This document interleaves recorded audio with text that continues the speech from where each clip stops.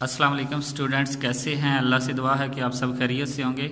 अच्छा स्टूडेंट्स, पिछले लेक्चर में हमने टू ए एक्सरसाइज की थी। अब टू बी से पहले कुछ प्रॉपर्टीज़ जो हैं, वो आपको बताना ज़रूरी हैं।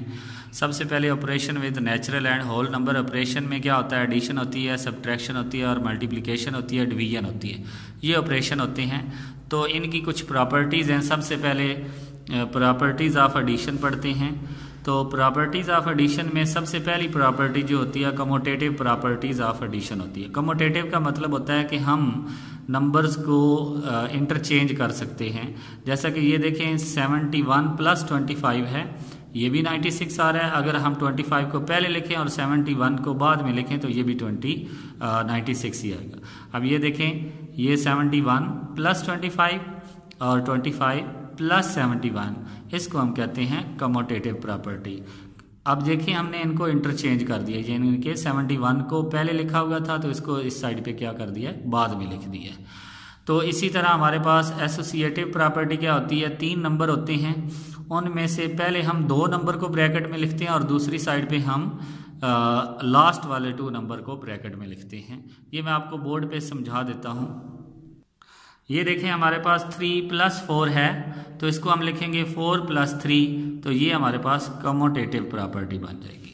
अगर एसोसिएटिव की बात करेंगे three plus four plus five इसमें एक बात याद रखें कि कमोटेटिव में दो टर्म्स होती हैं और एसोसिएटिव में तीन टर्म्स होती हैं।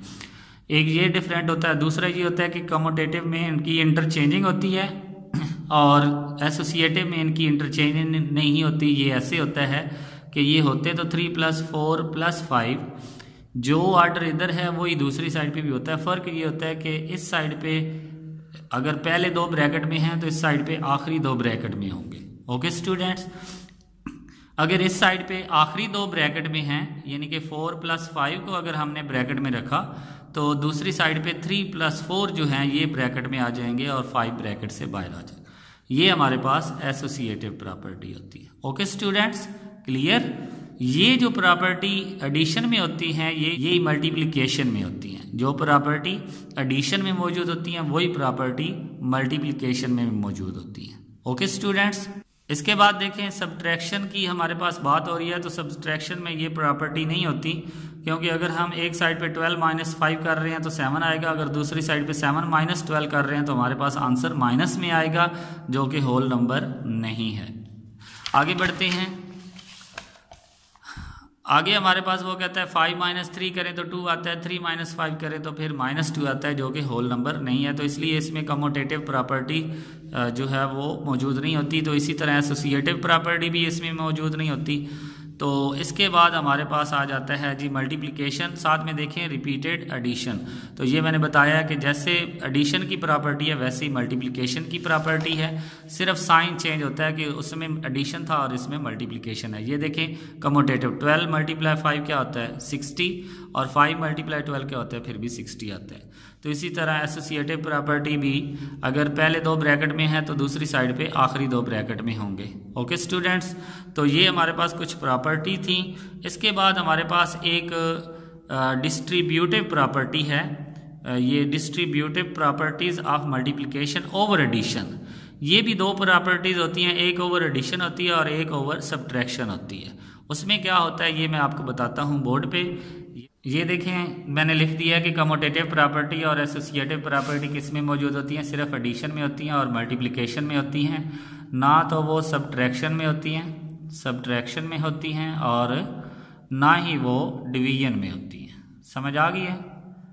ये प्रॉपर्टीज़ ना तो डिवीज़न में और ना ही सब्ट्रैक्शन में होती हैं। ओके स्टूडेंट्स अब हमारे पास डिस्ट्रीब्यूटिव प्रॉपर्टीज़ होती हैं। वो मल्टीप्लिकेशन की होती हैं, लेकिन उनका ताल्लुक एडिशन के साथ भी होता है और सब्ट्रैक्शन के साथ होता है। वो कौन सी? मसलन मैं लिखता हूँ फाइव मल्टीप्लाई ब्रैकेट में लिखता हूँ फाइव प्लस फोर तो ये प्रॉपर्टी कुछ ऐसी होगी, पहले फाइव इस फाइव से मल्टीप्लाई होगा। चलें, यहाँ पे मैं टू लिख लेता हूँ। पहले फाइव इस टू से मल्टीप्लाई होगा। फाइव मल्टीप्लाई टू इसको हम ब्रैकेट में लिखेंगे। फिर आगे ये प्लस आएगा और फिर ये फाइव इस फोर से मल्टीप्लाई होगा। फाइव मल्टीप्लाई फोर अब ये देखें कि हमारे पास इस साइड पे टर्म्स थी कि पहले हम टू प्लस फोर करेंगे आंसर क्या आएगा? सिक्स मल्टीप्लाई फाइव तो इधर पहले फाइव टू ज़ार टेन प्लस ट्वेंटी तो क्या आएगा? थर्टी और इधर भी क्या आएगा? थर्टी। ऐसी प्रॉपर्टी को हम कहते हैं डिस्ट्रीब्यूटिव प्रॉपर्टीज़ ऑफ़ मल्टीप्लिकेशन यहाँ पे मल्टीप्लिकेशन होता है और यहाँ पे जो साइन होता है उसकी वजह से हम कहते हैं ओवर यहाँ पे एडिशन है तो ओवर एडिशन कहेंगे। अगर यहाँ पे सब्ट्रैक्शन होता है तो ओवर सब्ट्रैक्शन कहेंगे। तो ये कैसे ओवर सब्ट्रैक्शन कैसे होता है, वो मैं आपको बताता हूँ।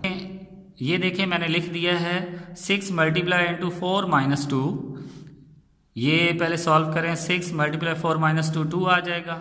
सिक्स फोर ज़ार twenty four minus six two ज़ार ट्वेल्व तो ये सिक्स टू ज़ार ट्वेल्व आ जाएगा इज़ इक्वल टू ट्वेल्व आ जाएगा। तो ये, अब इसके दरमियान में माइनस आ रहा है तो ये distributive properties of multiplication over subtraction है। यहाँ पे ओवर एडिशन था और यहाँ पे ओवर सब्ट्रैक्शन है। तो आज का हमारा लेक्चर सिर्फ़ क्या था? प्रॉपर्टीज़ था। नेक्स्ट लेक्चर में हम एक्सरसाइज करेंगे। तब तक के लिए इजाज़त दें।